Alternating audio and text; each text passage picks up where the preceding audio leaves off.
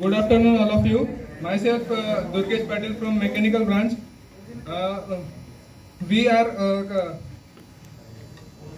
co- we are uh, coming here for cause effect, uh, cause and effect of tobacco in human body. Tobacco products are addictive because they contain uh, nicotine. Nicotine keeps people using tobacco products even when they want to stop.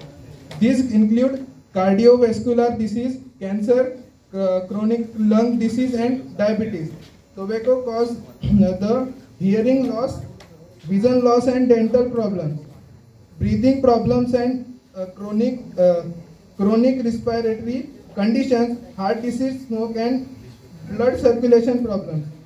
It's uh, it's a common belief that smoking helps you relax, but smoking actually increases anxiety and tension.